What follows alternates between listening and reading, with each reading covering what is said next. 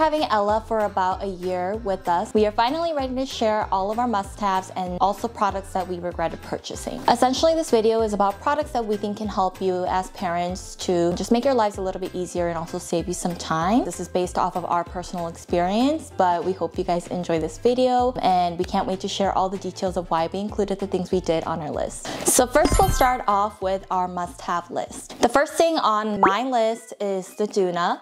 And if you don't know what a Doona is, it is a car seat and stroller duo. So if you fold it, it becomes a car seat, and if you fold it out, it becomes a stroller. We love this product, and this is one of the things that we regretted not having before Ella came because this is essentially the only car seat and stroller that you would need until your kid outgrows it, and you don't actually need a car seat So it's perfect for traveling because you're only taking one item versus three different items that you would normally need to take traveling with you. So it just saves a lot of space and energy. For example, we actually bought this right before we went to New York um, to visit Kevin's parents but it was perfect for the trip because we were gonna be taking Ubers, whether it's public transportation, taxi, it's perfect because you could fold it up so easily and then you stick it in the car and you click it in with a seatbelt. I would say that the only bad thing about this stroller car seat duo is that there's not really much of a storage. You would need to purchase all these accessories separately,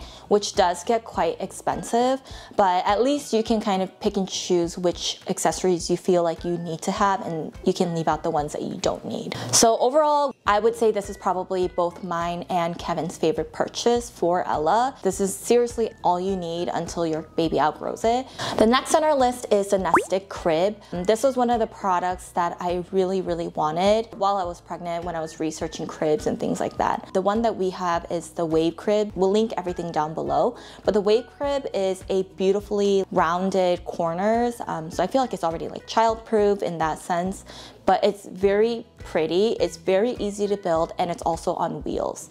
The best function though, I would say, is that it's a three-in-one. So it goes from a bassinet to a full-size crib to a toddler bed eventually. I do think that the price is well justified because it is two things less that you need to buy. You don't need to buy a separate bassinet, you don't have to buy a toddler bed. This is a three-in-one product, and when I look for products, I love it when things have multi-purpose or multifunctional, and this is because I feel like it saves a lot of space and storage in your home.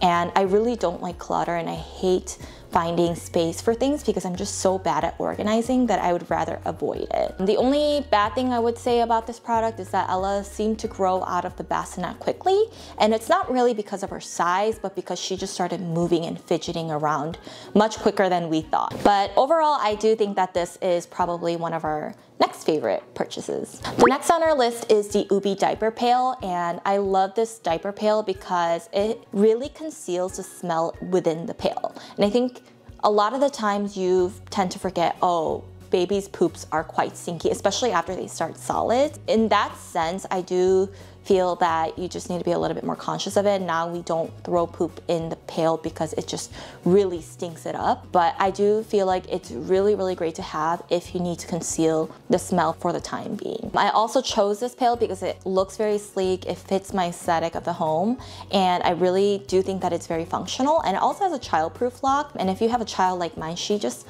for some reason like loves to use it as a walker so she loves to grab herself up on it and just push it around the house. So I mean we also make sure that it's very very clean. I'm wiping it down constantly but yeah it's a very sleek design it's very functional if she's trying to open the pail she can't because it's child proofed and then Dr. Brown bottles um, these were we didn't try too many bottles out this was the second one we tried we initially had the um, Comotomo bottles but the Dr. Brown bottles are great because it has an internal vent system. For kids that tend to be a little bit more colicky or have gas issues, which was Ella, she had a lot of feeding issues to begin with. And so it was kind of hard to find a bottle that could help her with the gas and the spitting up. Obviously bottles are very much preferences. So you do have to try different bottles out with your child and every kid is different. Some kids may not like Dr. Brown bottles, but yeah, for us it worked really, really well. The only bad thing about this product is that there's so many parts to it and there's a lot of crevices that you need to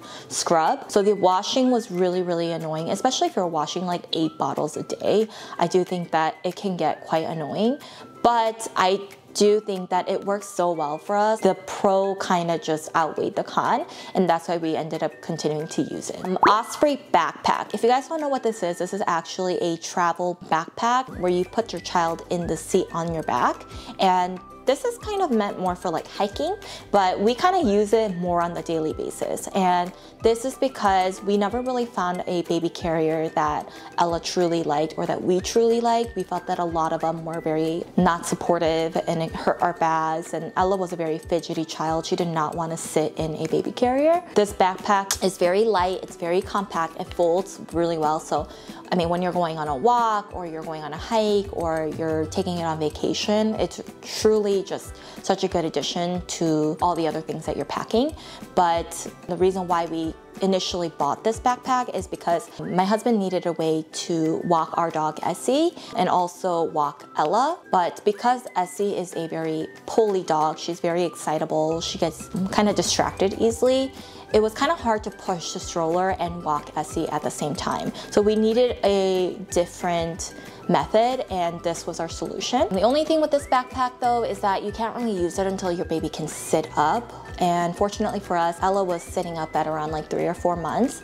So we were able to use it soon after she was kind of refusing to sit in a carrier. And to this day, this is probably one of Ella's favorite mode of transportation. She loves that she can just see everything from above. This is one of our favorite purchases, but I also do think that it just fits into our lifestyle very well. Next on our list is a very universal thing. Every video that I've watched about must-haves have this on the list and it is double zippered footsie pajamas. I just thought that I would love dressing up my child and would want to constantly put them in cute clothing and I love buttons and cute buttons and things like that. And I did not realize that I would not have time nor would I have the energy to dress my child up every day. So we actually had to buy more of these jammies and you know what, it, it's fine. I mean, she's spitting up more than five times a day and we had to do laundry at least once or twice a day. It just wasn't worth it to put her in cute newborn clothes. So she basically lived in these jammies, especially the ones with the mitts and the footsies. These are great because you don't have to put separate socks or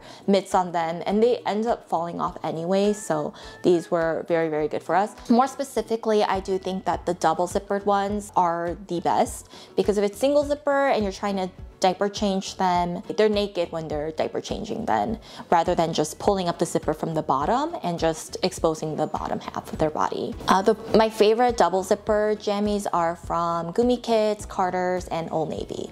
And then next on our list are Zippadee Zip sleep sacks. I have a really hard time saying this. It's quite a tongue twister, but we love these sleep sacks because um, it kind of frees Ella up. And like I told you, she is very active. She wants to be free and she's very independent. So these sleep sacks were like magic for us. I mean, we could not figure out what kind of sleep sack she wanted. We needed to keep her warm, so she needed to be swaddled up, but she didn't really like the swaddles we were using initially. And then when we transitioned her into a zippity because we thought she was going to roll soon, she just started sleeping through the night. Like it was really magic. We used it during the four month regression. This was our last resort. And the moment that we started using the Zippadee Zip, she just slept through the night. She got over the four months regression because of these sleep sacks.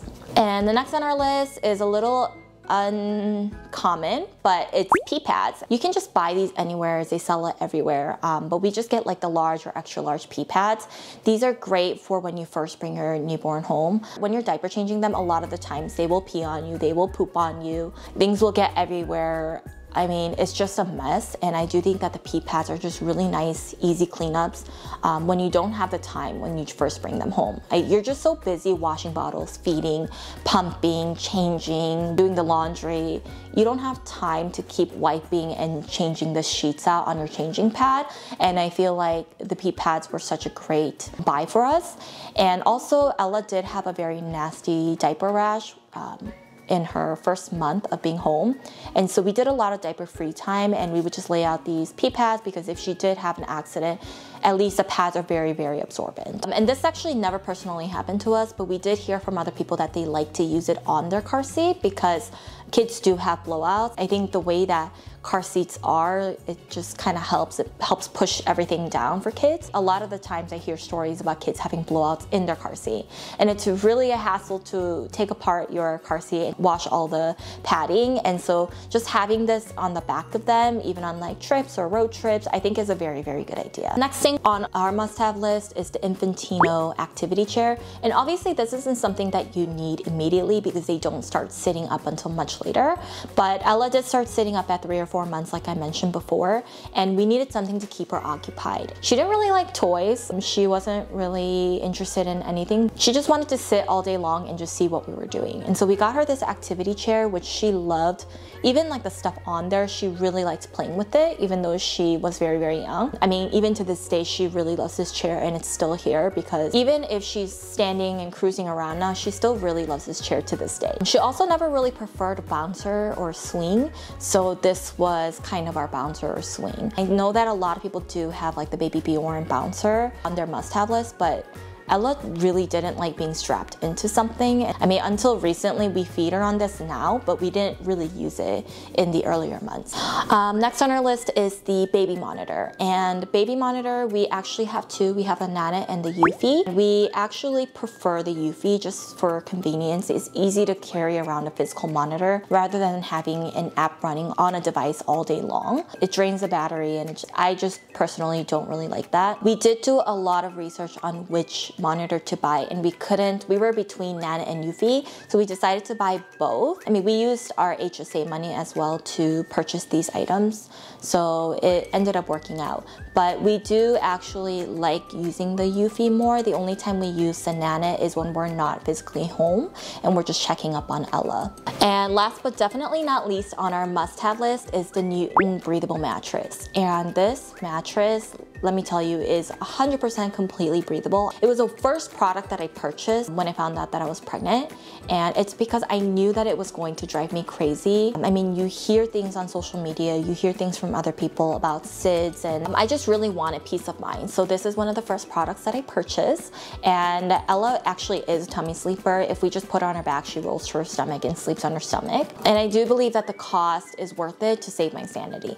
It comes with a thick mattress cover cover. It's kind of like their version of their sheet, but I feel like this is what makes it breathable. If you put a sheet over it, it's actually less breathable. Um, but it's thick enough that liquid doesn't seep through. I mean, sometimes her diaper leaked, and so none of this would actually go through the mattress. All right, and then let's move on to regret. The first thing on my list is my breast friend pillow. Um, this is a breastfeeding pillow that is on many, many people's must-have list. This is something that I would wait to purchase until after because I was very set on breastfeeding and pumping and then when we brought Ella home we realized that she was having a lot of difficulty latching and we had feeding issues and it ended up not going the way that I planned. I didn't really use this pillow as frequently as I thought. I probably used it only a handful of times and it's just not that cheap of a pillow. It takes up a lot of space because it's bulky. So I wish I would have just waited to purchase it until I had like a definite feeding plan for her after we brought her home. And then when we did actually use the pillow, it just really wasn't comfortable for both Ella and I. I much prefer just to use regular pillows that we had on our bed. The next thing is a Keekaroo peanut changer. This is such a sleek design and it looks amazing. It fits my aesthetics in her nursery but it just was not very functional for us. Because Ella was born in the colder months, she just didn't really like having her bare back on this cold changer. I mean, to this day, she just hates anything cold. Her room has to be very, very warm at all times, even in the summer. And we actually don't even use that changer to this day. Initially, when we were using it, we had a blanket on it, which completely defeats the purpose of it. And so for the price tag, I just don't know if it's necessary to have a Keekaroo peanut changer. The next thing in our Comotomo bottles. And this is something that we regret just because we had a love-hate relationship with it. I mean, Ella sometimes preferred it, sometimes she didn't. But overall, I mean, other than the fact that it was very, very easy to clean, it just wasn't really great for us because when we try to warm her milk up, the heat doesn't go through the silicone very well, so the milk ended up still being very cold. Ella was very particular about the temperature of her milk. For that purpose alone, I would probably just stay away from these bottles. The next thing on our list are baby carriers, and like I mentioned before, it just did not work for us because we had a really hard time finding a carrier that we could use um, longer than two weeks. We did end up purchasing two. The first one is the Solly Baby Wrap, which Ella did like for about two weeks until she got bigger and heavier and more fidgety. But I do think that if we had bought it much earlier and used it earlier on, maybe we would have enjoyed it a little bit more. The second carrier that we had is the original Happy Baby carrier. And this is nice, I think, for maybe about like a couple weeks, but Ella just didn't really like it. And when we were taking it on walks, when we walk Essie, we walk for a long period of time, it just doesn't have enough structure to support her and also our backs. So we didn't really prefer it. If you guys have any recommendations on baby carriers that you guys love, please leave it down in the comments below and maybe we'll try it next time. Next thing on my list of regrets is the Motif breast pump. Um, it was fine for the time that I was using it, but it did break pretty quickly and then it would turn on and then turn off and it just wasn't very consistent. I ended up buying the Spectra anyways, but the reason why I initially got the Motif is because because that's what my insurance paid for. But because it broke, I had to buy the Spectra breast pump regardless and it didn't really matter. So from the beginning, I would just buy a nice breast pump. Next thing, this is pretty universal, but buying cute newborn clothes, socks, and shoes um, just aren't really necessary. And I do think that if you want a couple for photos or for going out, that's fine. But I do think that I over purchased really cute clothing. The reason why you don't really need it is because again, they are going to live in jammies. It's just the most convenient thing for them when they're just home and they're home all day long. There's not really a point in dressing them up. If they're going to spit up on it, they're gonna have an accident on it and things like that. As for socks and shoes, they're constantly falling off. They look cute, but other than that, there's really not a point. A lot of the times, like because they're in footsie jammies, you don't really need socks or shoes. Found that Ella actually outgrew a lot of the shoes before she could actually start wearing them. Uh, the Snuggle Me, which I actually have right here for some reason. Ella likes to play on it sometimes, but it's not really necessary because they they outgrow it really quickly. It's not very big. So I would say within the first like two, three months, they'll probably outgrow it. It just wasn't really necessary for us as well because we wanted Ella to sleep in our crib even for naps. You can't put this in their crib. So it ended up not serving much of a purpose for us. Next on our list is the Halo Sleep Sack. And I know that people love this product, but honestly, I think it just confused us even more because we couldn't tell if Ella wanted her arms in or arms out, or if she was too cold or she was too warm. She just seemed to be always fussy whenever we put her in these sleep sacks. So I do think that when we switched over to the, to the Zippadee Zips, that's when we figured out that, oh no, she likes to be free. But I think when her arms are out, she's also cold. So it was just not the best sleep sack for us. I think we would probably try a different one next time. And then last on our list is the Dagne Dover diaper bag. And I love this product because it looks so nice, but I don't think it's very functional. And for the price, I think you need to have a middle ground. So I think for me, it's a little bit more manageable, but my husband hates this backpack because he hates digging around. He says he can't find anything in there and then he ends up having to pull everything out to find what he's looking for. So I do think that there's a lot of nice diaper bags out there. The one that I wanna try next is maybe the Hap Levy, I believe that's what it's called, but it's really nice because it has a really wide mouth. So you open it and you see everything that's in it. I would probably look and research for a backpack more like that than a deeper backpack where it's hard to find anything in it. So I hope you guys enjoyed this video and I hope that you found it helpful. If you guys have any questions, leave it down in the comments below. If you have any recommendations, also leave that in the comments below. And also leave us some suggestions of what kind of baby content you guys want to see more of and we'll see you guys on our next video.